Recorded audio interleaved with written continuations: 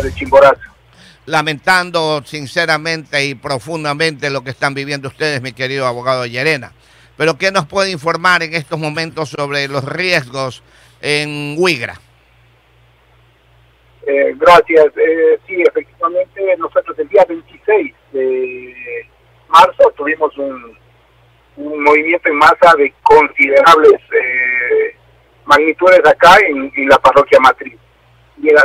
Y a los 15 días, ese día domingo, eh, tuvimos la alerta y que lógicamente con la visita en sitio con la gente de la Secretaría de Riesgos se decidió en conjunto evacuar también a este sector, ya que serían las mismas consideraciones que se iban poniendo acá en, en la parroquia matriz las que están pasando y en una un bastante extenso, 152 hectáreas aproximadamente, que estarían eh, en este movimiento en masa, que existen unas grietas considerables, las mismas que estarían eh, en las comunidades de Namsa Chico, Mazán, eh, la Quebrada Ninfa y también los barrios de la eh, parroquia de Huigra, barrio turístico y barrio Azuay.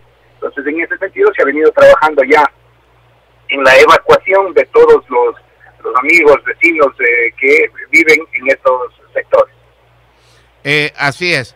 Eh, mi querido uh, vicealcalde Yerena, ¿qué hay de verdad que Chunchi va por el mismo problema?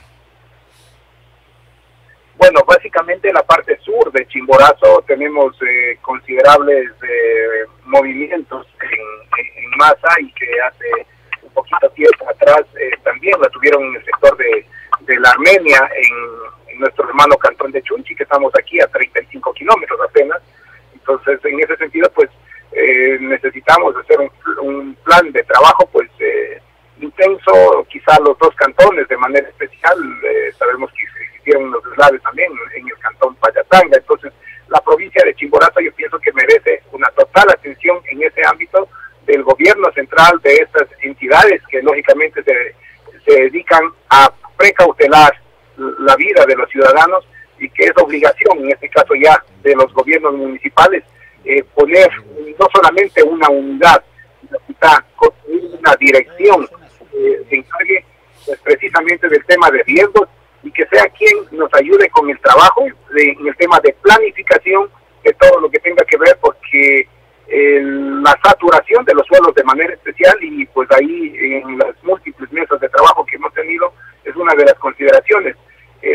Parte de Chimpazo era netamente agrícola hace un tiempo atrás, pero con la migración, la gran cantidad de, terrenos se dedicaron únicamente a, la ganadería, lo que ha ocasionado que los para tener unos pastos buenos, pues eh, exista un riego eh, considerable de agua y pues eh, esta saturación ha venido llevando a estas consecuencias.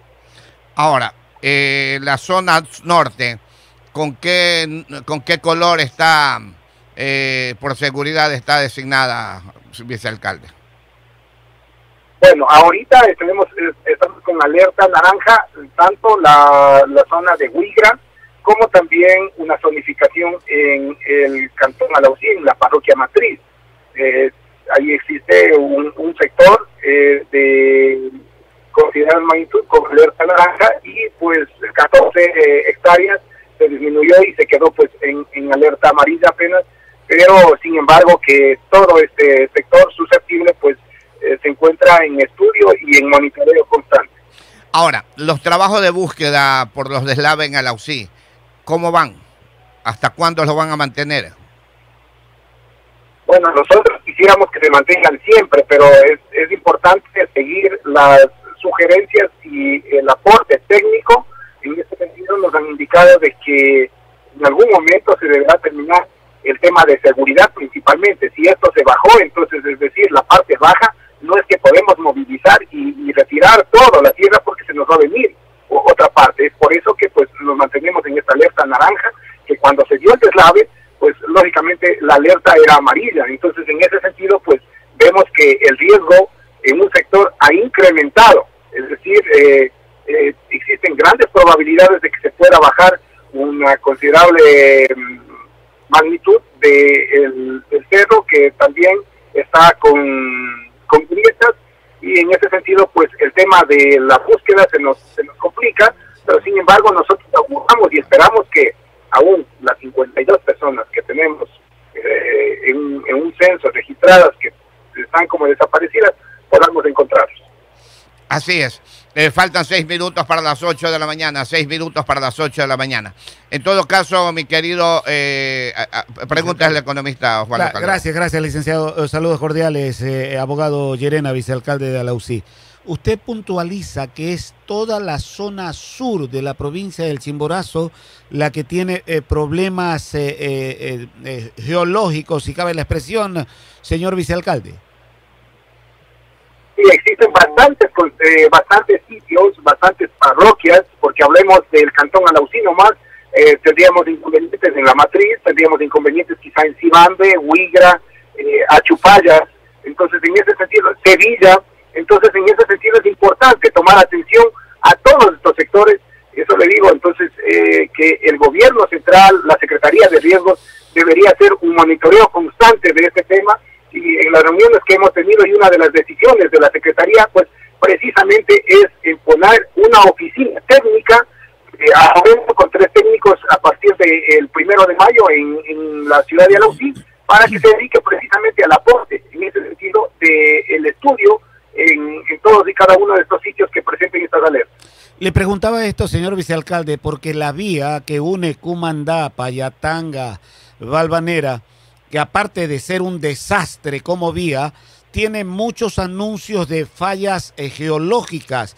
Esa eh, carretera también está involucrada en el tema del eh, cual usted habla, señor vicealcalde.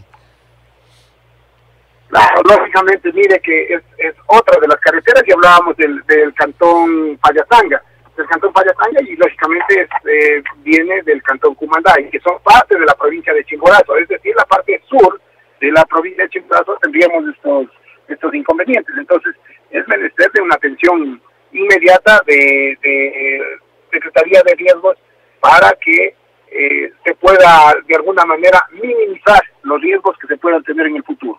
En la parroquia Huigra, ¿cuántas personas han sido finalmente eh, evacuadas? Eh, ¿Han colaborado los pobladores o hay algunos reticentes a abandonar zona de riesgo?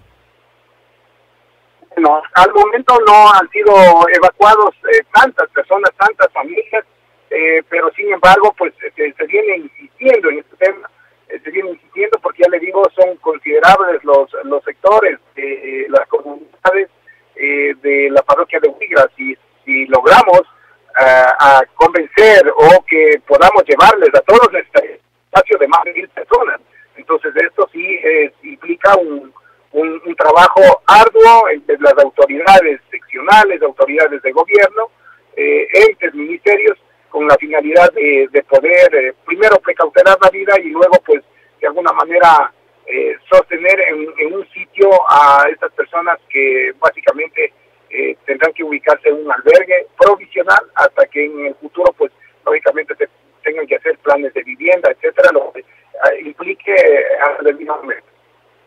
Eh, está abandonada. La posibilidad de afectación a la línea férrea eh, existe, eh, señor vicealcalde.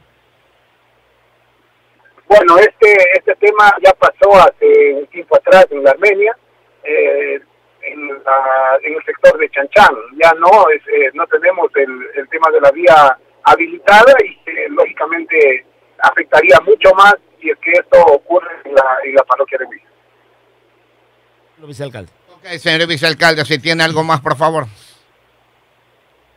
Bueno, agradecer por, por la solidaridad que han tenido con nosotros y aspiro que en los días posteriores que tengamos que golpear puertas, como es el caso de su medio de comunicación para que nos ayuden, pues precisamente lo haremos, porque es un tema que no va a pasar ni una, ni dos semanas, ni uno, ni dos meses, pasará y, y de muchísimo tiempo en donde necesitaremos el aporte de todos los ecuatorianos. Muchísimas gracias.